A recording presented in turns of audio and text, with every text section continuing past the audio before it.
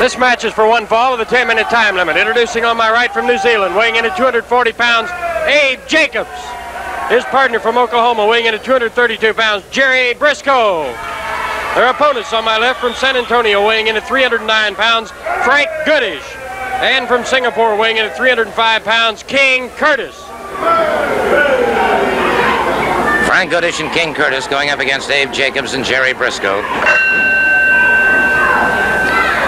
Both uh, Goodish and uh, Curtis uh, over 300 pounds. Jerry Brisco moving out first. He's giving away a lot of height, a lot of reach, and weight and power. But Jerry is probably uh, one of the good, good duck under and go behind. Tight waist broken up by Goodish. But again, duck under and go behind, and so Brisco. Back leg trip by uh, Goodish, and as he went to charge in, Brisco had him again. Brisco, the scissoring leg dive that time. But Jerry Brisco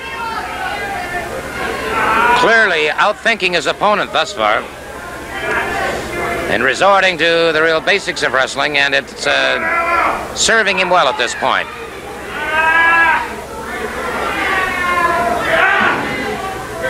I wish Robin Plato a uh, happy birthday.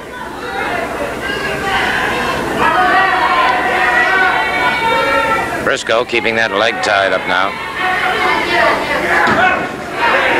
Now Brisco going after the legs of Goodish. As Billy Robinson says so many times, uh, with a big man, you don't help him up, you help him down. And that's what Brisco's been doing. Brisco caught now those massive forearm of uh, Frank Goodish.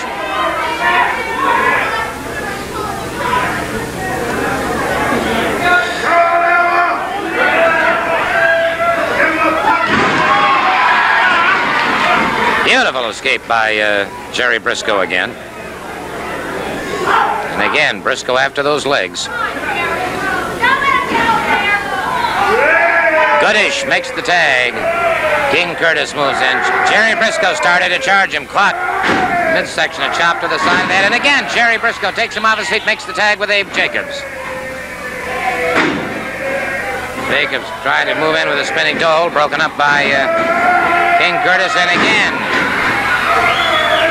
And so Jacobs and Brisco apparently have decided sweep those legs out from underneath them, get those big men on the canvas, and then we'll all be the same size. That's exactly what he's doing again. Notice the way Jacobs has uh, King Curtis now. That leg in between. It, uh, catches him to where he cannot swivel over to his stomach. Jerry Brisco again moves in on the leg.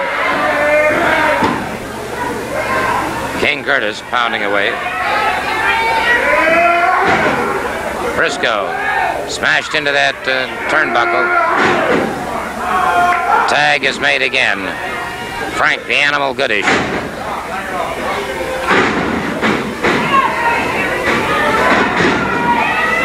Firing in the midsection, but that tremendous power that Goodish has.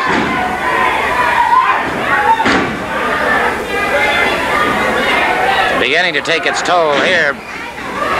Jerry hurtled back into that uh, turnbuckle, tags up. Abe Jacobs out there. Arm whip. Goodish backdrop that time, and uh, again, Abe Jacobs using an arm whip very effectively. Reversed this time, and it was uh, King Curtis. Good move by Jerry Brisco. Saved uh, Abe Jacobs from a lot of strife there. King Curtis moving back outside. Abe Jacobs hurtled into Jerry Brisco. Brisco fired outside the ring. Curtis makes the tag. Abe Jacobs stunned. Brought up with a full body slam. And King Curtis, on that second rope, crashes down across Abe Jacobs. Jerry Brisco coming up but a little bit too late as the team of uh, King Curtis and Frank Goodish have emerged victorious.